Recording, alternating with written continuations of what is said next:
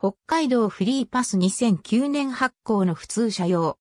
指定券発行は、その都度マークが印字される。北海道フリーパスは、北海道旅客鉄道が発売する特別企画乗車券である。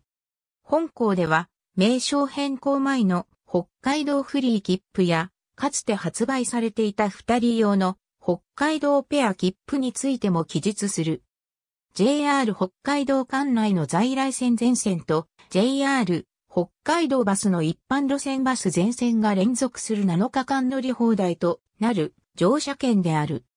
なお使用開始前に氏名を記入する必要があり、使用開始後の本件を有効期間内に第三者以上と転売し使用することは認められていない。北海道フリー切符1986年2月1日に国鉄北海道総局の特別企画乗車券の一種で、連続する5日間乗り放題の乗車券として発売開始。発売当初は一人用が北海道フリー切符、二人用は北海道ペア切符であった。いずれも普通車用の他にグリーン車用も発売されており、グリーン車用では B 寝台車も利用できた。ただし、普通車用、グリーン車用のいずれも本件の提示だけで指定券の発行や乗車できるのは JR 北海道内の特急、急行列車に限られ、本州からの直通列車の寝台では乗車券としてのみ有効であった。1994年6月当時の発売価格は以下の通り。北海道フリーパスこの年まで駅員が指定券発行の都度スタンプを押していた2005年4月1日発売分より現行の名称に統一された。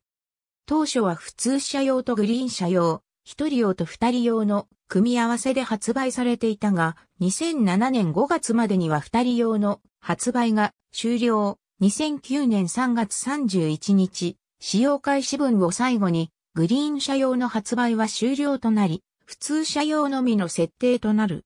名称変更直後は特に指定席券の発行枚数に制限はなかった。北海道フリー切符、ペア切符、北海道フリーパスは、全県種の常備券が設定されていたが、指定席利用回数制限導入後は廃止された。2016年3月26日の北海道新幹線の開通に伴って、海峡線から在来線定期旅客列車がなくなり、同時に江差線が道南イサリビ鉄道に転換されて JR 北海道の路線ではなくなったため、在来線区間の中小国機庫内五両区間は本パスでは利用できなくなった。また、北海道新幹線は本パスの有効エリアとはならなかったため、本パスのみで本州方面から北海道に渡ることはできない。北海道内の在来線特急、急行、快速列車及び SL 列車の普通車指定席を最大6回まで利用することが可能である。特急、急行、普通列車の自由席は何度でも利用できる。指定席を7回以上する場合、7回目からは運賃のみ有効デベット、無割引の料金が必要。グリーン車を利用の場合は、運賃のみ有効デベット、グリーン料金のほか、特急料金も必要である。北海道新幹線及び道南イサリビ鉄道線は利用できない。バス路線は他社と共同運行を行う都市間、バス路線の高速オタル号、一般路線バスの空地線の一部は JR 北海道バス担当便のみ利用可能。高速旭川号、流氷も、別号、ポテトライナー、高速エリモ号、高速広尾サンタ号、特急日高優春号、特急とマモ号は利用できない。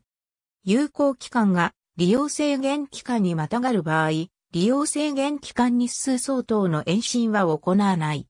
利用開始日の1ヶ月前より、JR の緑の窓口、旅行センター及び主要旅行会社で発売。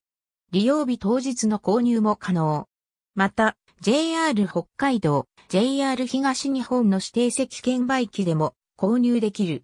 ありがとうございます。